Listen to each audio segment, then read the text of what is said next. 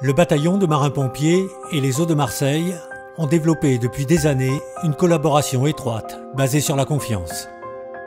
Réunis sur le stand de la Société des eaux à la foire internationale, le président Fauchon et l'amiral Garrier ont voulu remercier ces hommes et ces femmes des eaux de Marseille et du bataillon pour leur efficacité en toutes circonstances. Le bataillon et la SEM ont été créés en même temps après les nouvelles galeries, la nouvelles galeries. Et euh, depuis ce temps-là, on travaille tout le temps ensemble, en permanence sur la ville.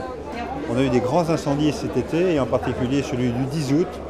Et euh, on a quand même euh, fait une ligne de camions, de 80 camions, sur l'avenue Brémont, les séparations de de Mirabeau et Marseille. Et on a tenu, grâce à la SEM, grâce à la mobilisation de la SEM, qui nous a fourni l'eau, qui a monté la pression, qui a cherché toutes les solutions pour nous aider. Et 80 camions, c'est pas rien. là, moi, commandant du bataillon, ce soir-là, je me suis toujours posé la question est-ce qu'on va tenir en eau? Et la SEM était là.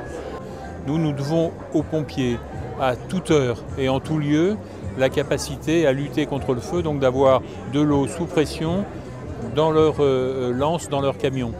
Et euh, nos hommes, nos femmes ont établi euh, une collaboration qui nous sert pour la prévention, ce qui est très important, y compris dans la construction, mais aussi pour l'évaluation sur le terrain, et puis ensuite pour la réparation.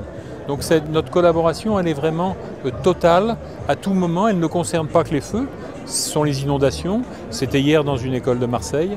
Euh, grâce à cette collaboration, grâce à un téléphone rouge que nous avons, hein, il suffit de décrocher un téléphone sans faire de numéro, de la SEM au bataillon, du bataillon à la SEM, pour euh, se parler. Et, et les pompiers nous expriment leurs besoins et nous nous efforçons de satisfaire ces besoins dans le minimum de temps.